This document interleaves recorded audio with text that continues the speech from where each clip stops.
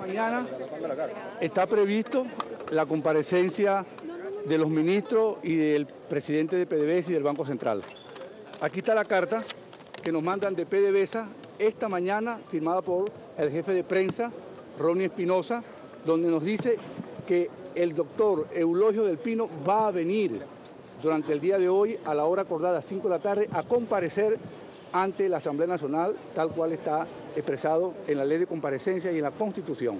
Eulogio del Pino solicitando que le arreglemos las acreditaciones para venir hoy, 5 de la tarde, a la comparecencia. Sorpresivamente, el gobierno optó por no venir, por desacatar el mandato popular y además por desacatar la propia orden que impartió el presidente Nicolás Maduro el día viernes cuando invitó públicamente a que los ministros concurrieran acá. La comisión ha venido trabajando, escuchó un conjunto de expertos, tiene eh, en su poder la opinión de cinco especialistas en la materia y está elaborando el informe. El informe obviamente va a tener allí un vacío y ese vacío que va a tener el informe es la falta de opinión y la falta de información que los ministros van a suministrar. No obstante ello, el informe se va a presentar mañana en la mañana, digamos a las 9 de la mañana, a la comisión completa, es decir, a la bancada de la unidad y a la bancada del PSV.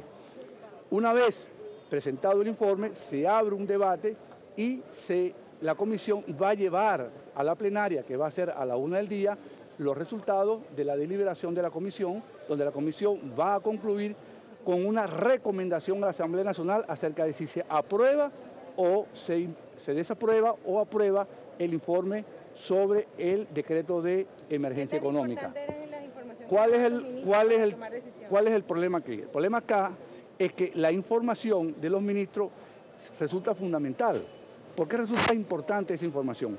Porque necesitamos saber cifras de las reservas internacionales, de la composición de las reservas internacionales, del déficit fiscal, del financiamiento, de la situación de los alimentos, cuánto es el, el monto y el valor de los alimentos hoy en los silos y en los puertos de Venezuela para satisfacer las necesidades alimenticias del pueblo, cuál es el problema de las medicinas, cuál es el problema de la grave crisis eléctrica. Esas son informaciones fundamentales que tienen que estar en un informe.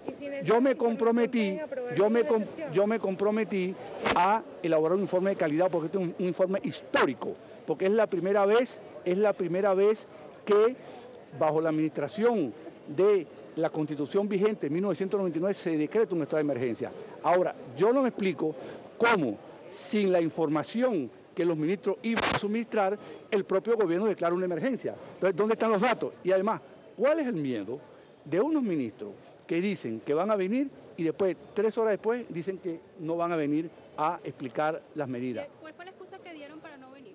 La excusa que dieron es que ellos quieren que la información y que la deliberación de la comisión con los ministros sea secreta. Nosotros no aceptamos secreto. Ellos están mal acostumbrados porque en el pasado, como no había comparecencia de los ministros, se mal acostumbraron y ellos no se han dado cuenta que el país cambió y que la Asamblea cambió y que hoy ustedes, los medios de comunicación están aquí y son el testimonio vivo de la situación y la crisis que vive el país. Nosotros queríamos que ellos le explicaran a sus lectores y a sus televidentes y radioyentes la magnitud del problema que tenemos para saber si estamos en una crisis o no. No queremos secretos, queremos la información para el pueblo porque este pueblo votó por un cambio y esta asamblea está empoderada para llevar ese cambio y queremos la información. Vamos a elaborar el informe, mañana se lo vamos a entregar a ustedes también para que vean un informe de calidad, técnicamente elaborado y bien sustentado.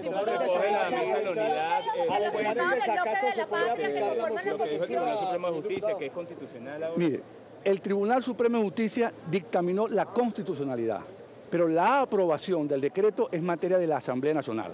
El TSJ no puede invadir el campo de la, de la Asamblea Nacional, que es el poder originario. El, TSJ es un poder derivado del poder popular que está representado en este hemiciclo con la voluntad del pueblo de, de Venezuela. Por tanto, el decreto estará vigente hasta mañana cuando la Cámara, la Asamblea Nacional, decida sobre la aprobación o improbación del decreto de emergencia. Luego de la no comparecencia de estos ministros, ¿habría alguna consecuencia con ellos? ¿Habría alguna sanción? una moción de censura? el- la posibilidad de, de modificar el decreto no existe. Está totalmente prohibida por la ley. Entonces, no es un tema. ¿Qué es lo que queremos nosotros? Sentarnos ahora con el gobierno a buscarle una solución a este problema. Nosotros tenemos que buscarle una solución a este problema.